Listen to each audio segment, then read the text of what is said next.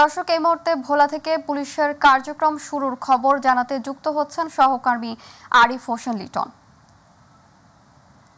লিটন, ভোলায় থানা পুলিশ ও ট্রাফিক পুলিশের কার্যক্রমের কি খবর আছে আপনার কাছে? আমাদের জানান।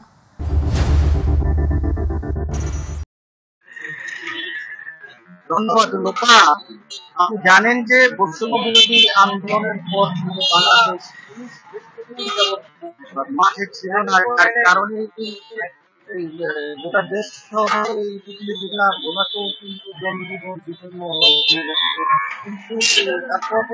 ছাত্ররা কিন্তু সার্বিক নিরাপত্তার কাজে কিন্তু ছাত্ররা মাঠে নামা পরে কিন্তু কিছুটা হলো জনগণের মধ্যে কিন্তু স্বস্তি ফিরে এসেছিল গত থেকে কিন্তু বিশ্বমন্দির কিন্তু পুলিশ কিন্তু মাঠে নেমেছে। তারা তাদের যে আনুষ্ঠানিক যে কার্যক্রম কিন্তু তারা কিন্তু গতকাল থেকে শুরু করেছে। থানা থানায় যে সেই জনগণের নিরাপত্তার কাজে যে যে সমস্ত সার্বিক কাজগুলি রয়েছে, গতকাল থেকে কিন্তু পুলিশ সার্বিকভাবে তার কার্যক্রম শুরু করতে করে দেখতে পাচ্ছেন, আমার সামনে কিন্তু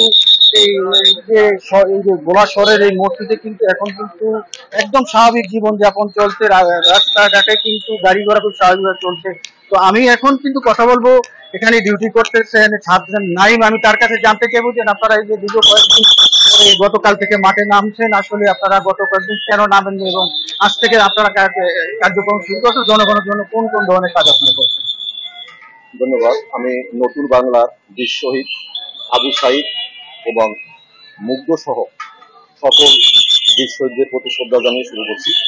আসলে আপনারা সকলেই জানেন, ঢাকা সিটি সহকারে বাংলাদেশের কিছু জেলায় আমাদের অপেশাদার কিছু পুলিশ অফিসার এবং সদস্যদের জন্য পুলিশ এবং জনগণের ভিতরে গুরুত্ব হয়, এর কারণে সারা বাংলাদেশি বিভিন্ন পুলিশের ইউনিটগুলায় বিচ্ছিন্ন কিছু আক্রমণ হয়। তো স্বাভাবিকভাবে পুলিশ এবং জনগণের মধ্যে একটা ভুল বুঝাবুঝির সৃষ্টি হয়। আসলে পুলিশ একটি সেবাদী প্রতিষ্ঠান সেবাই পুলিশের ধর্ম। আসলে যেখানে সেবার ব্যাপার থাকে, সেখানে আসলে দর কষাকষি বা চাওয়া পাওয়ার কিছু থাকে না। তো আসলে পুলিশের জায়গা থেকে একটি ব্যাপার যেটা হলো যে, তারা চেয়েছিল যে, জনগণের আস্থার জায়গাটা ফিরিয়ে আনার জন্য। সেই জন্য আমাদের দাপ্তরিক কাজ চলছে কিন্তু আমরা হয়তো বা যে রাস্তাঘাট একটু আমাদের কম দেখা গেছে, কিন্তু আমাদের এই যে নতুন সরকার বিশ্বব্যাপী সমাদিত আমাদের নোবেল জয়ী ডক্টর মোহাম্মদ ইউনুস মহোদয় যখন তার সরকার গঠন করছে তার সরকারের আশ্বাসের কারণে এবং মানুষও বুঝতে পারছে যে পুলিশের প্রয়োজনীয়তা আছে এই কয়েকটা দিন যে দেশের ভিতরে কি বিশৃঙ্খলা হয়েছে, আসলে পুলিশের কি প্রয়োজনীয়তা, সেটা সেনাবাহিনীর প্রধান সহকারে সকলেই বুঝতে পেরেছে। তো যখন এটা আমরা আশ্বাস পেয়েছি এবং সরকারকে আশ্বাস পেয়েছি, জনগণ যখন আমাদের চেয়েছে, আমাদের যখন ফুল দিয়ে বরণ করছে, আমরা ওই যে নিয়মিত অন্য অন্য দিনের ন্যায় এবং পূর্বের ন্যায় আমরা আবার দাপ্তরিক কাজ এবং আমাদের রাস্তার কাজ সমস্ত কাজ আমরা শুরু করেছি। ধন্যবাদ। ধন্যবাদ।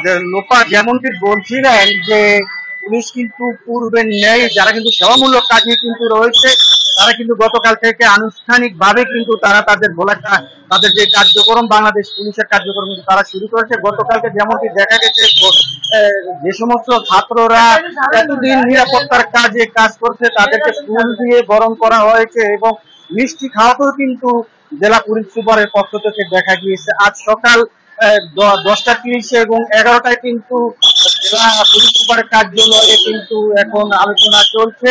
যারা এই কয়েকদিন যে সমস্ত ছাত্ররা মাঠে কাজ করেছে, তাদেরকে কিন্তু একটি সার্টিফিকেট প্রশংসা পত্র সার্টিফিকেট দেওয়া হবে বলে আমাকে যেমনটা জানেন তো সর্বোপরি বলা যায় যে গতকাল থেকে বাংলাদেশ পুলিশ জেলার পুলিশ মাঠে রয়েছে। সাথে সাথে কিন্তু ছাত্ররা কিন্তু তাদেরকে এখন পর্যন্ত সহযোগিতা করছে। সকলে মিলে চাচ্ছে একটি সুন্দর সমৃদ্ধি বাংলাদেশ গঠন করার জন্য। এই শুনে বলা থেকে আমার সর্বশেষ খবর লোক